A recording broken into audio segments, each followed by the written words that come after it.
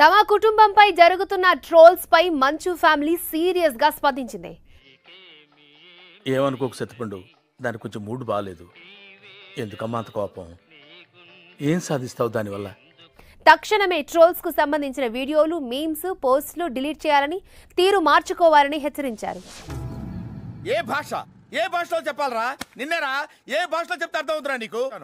గచ్చి మౌలిగాడు ఒకేసారి చెప్తాడు. రెండోసారి నరికవతలు పడేస్తాడు. కొంతకాలంగా మంచు ఫ్యామిలీని టార్గెట్ చేశారు ట్రోలర్స్. ఇదంతా నీ మీద ప్రేమతో చేశాను సైబర్ క్రైమ్లో ఫిర్యాదు చేస్తామని పోలీసులను కూడా సంప్రదిస్తామని మంచు ఫ్యామిలీ గట్టి వార్నింగ్ ఇచ్చింది. ఎన్నడూ లేదు ఇలా తయారయ్యావేంటి? అంత మంట పెట్టేశాడు సార్ కాలుతున్న కట్టే పెట్టేశాడు. జరిగింది ఏదో జరిగిపోయింది. మంచు విష్ణు మంచు మోహన్ బాబుతో పాటు వారి కుటుంబ సభ్యులను ట్రోల్స్ చేస్తున్నారు. ఇంత పగ పట్టావేంట్రా?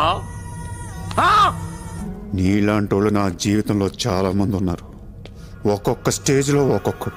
ఏది మాట్లాడినా మీమ్స్ క్రియేట్ చేసి వైరల్ చేస్తున్నారు. నిన్న మీరే చెప్పారు కదండి. నాకు చెప్పుమంటాను ఎప్పుడైనా. ఏ ఏమనుకుంటున్నారా సరదాగా? అంటే వీ మస్ట్ ఎంజాయ్ దట్ అది నిన్నరా? తీరు మార్చుకోకుంటే పది కోట్ల రూపాయల మేర పరువు నష్టం దావా వేస్తామని హెచ్చరించింది. అంతేనా గురుగారు అవును నీ అంతే. మనసు మార్చుకోరా?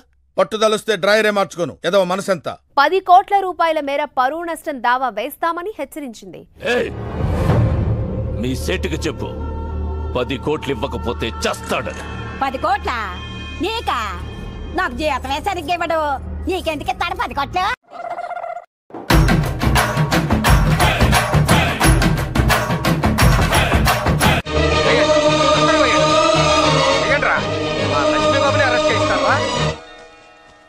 తీసుకో.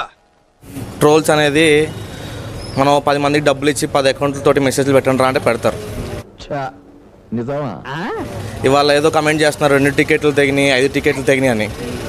ఆయన చూడని కలెక్షన్లు కాదు ఆయన చూడని రికార్డులు కాదు ఫస్ట్ థింగ్ చెప్పరేమిటి గురుగారు? ఏం చెప్తావురా? ఆంటీ కూడా వినే ఉంటారు. వినలేదే.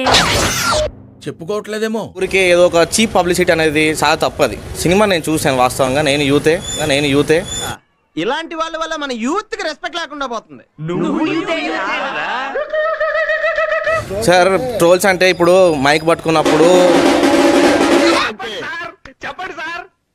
చెప్పండి చెప్పండి. ఇంట్రెస్ట్ పోయింది. ఎందుకంటే ప్రతి దశలోనూ పెంట పెంట చేస్తుంటే నాకు ఇంట్రెస్ట్ లేదు. మైక్ పట్టుకు మైక్ పట్టుకున్నప్పుడు ఏదో